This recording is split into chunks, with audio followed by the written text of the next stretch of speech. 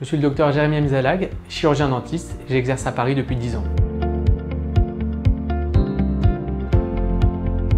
Le chirurgien dentiste peut exercer à l'hôpital, en cabinet de ville, en clinique ou encore en centre de santé.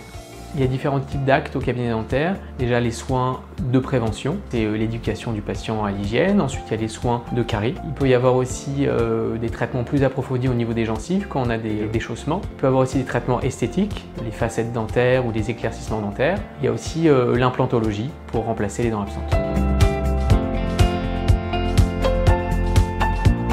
Le chirurgien dentiste peut constater des différences suivant les tranches d'âge. Par exemple, l'adolescent, c'est une période où il a un petit peu plus de mal à prendre soin de ses dents et le dentiste peut avoir un rôle justement pour lui expliquer que c'est très important. Ou encore chez les personnes à partir de 40-50 ans qui peuvent développer des maladies de gencives, des maladies parodontales.